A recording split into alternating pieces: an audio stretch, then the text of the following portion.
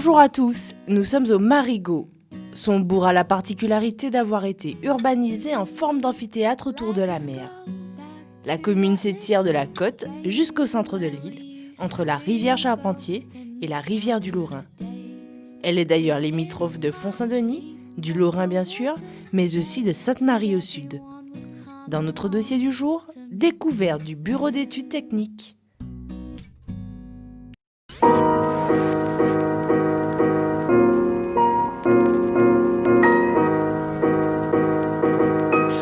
Pour comprendre ce qu'est un bureau d'études techniques, il faut faire un peu d'histoire.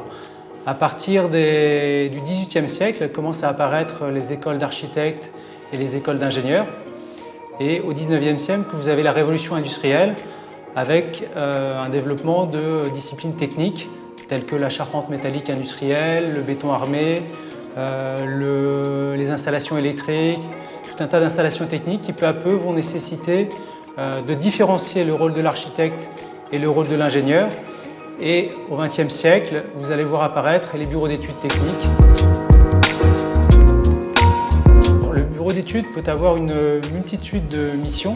Il peut y avoir des bureaux d'études qui sont spécialisés dans une discipline. Par exemple, il peut y avoir des bureaux d'études spécialisés en structure, d'autres en électricité, d'autres en climatisation, d'autres en acoustique.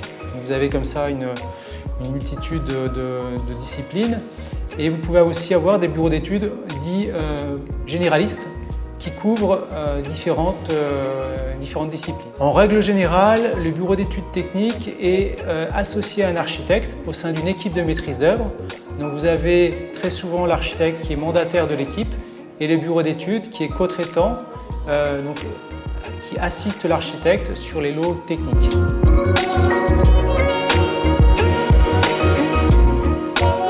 À notre disposition, nous avons deux types d'outils.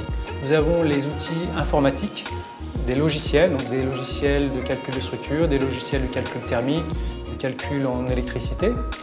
Et nous avons également euh, des outils pour tracer les plans, donc des traceurs euh, et tout ce, qui, euh, tout ce qui va avec, les, outils pour, couper les plans, pour les plier. On a des supports à la fois informatiques et papier. Sur chantier, il est nécessaire d'avoir des plans papier sur la plupart des chantiers, le maître d'ouvrage, le commanditaire euh, du bâtiment, euh, missionne un bureau de contrôle euh, qui, dont le rôle est de vérifier que les plans produits par le bureau d'études et les plans produits par les entreprises sont conformes aux réglementations. En fait, c'est une, une, sorte de tierce partie qui s'assure de la conformité des ouvrages. Merci de nous avoir suivis. Votre émission continue sur notre site internet. Rendez-vous dès demain pour votre rubrique Infocaille. En attendant, prends soin d'Ikaizot.